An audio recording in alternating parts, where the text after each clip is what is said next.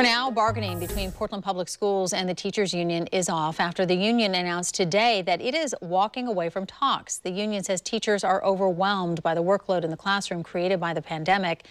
But the district says what they are proposing is not a good idea. Fox Deborah Gill joins us now with more on where things stand. Good afternoon, Deb.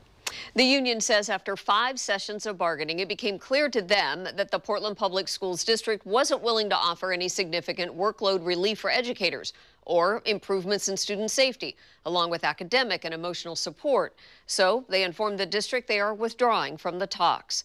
In August, the union demanded to bargain with the district over the workload impacts brought on by the pandemic. Discussions finally began in November, with the Portland Teachers Association asking to scale back in-person instruction.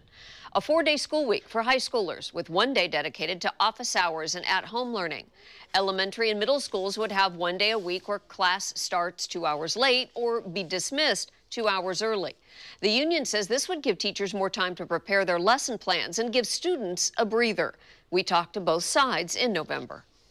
Our proposals are designed to try and uh, provide a capacity for everyone to give the maximum amount of service to students and also provide the best uh, well, the safest and best environment for students during that time period. We definitely agree that there's it's been a challenging year for everybody for the last couple of years, and we know that there are some issues that we need to resolve.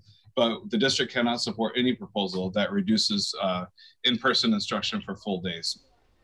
Today, in a statement, the union says many educators are considering leaving the profession. They say Portland schools are dangerously understaffed. Safety is a constant concern in buildings, and many students urgently need targeted support.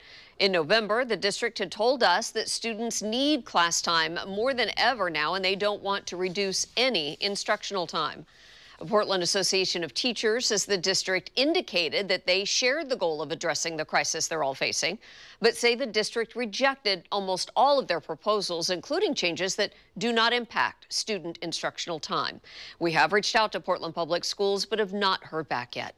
Reporting live in studio, Deborah Gill, Fox 12 Oregon.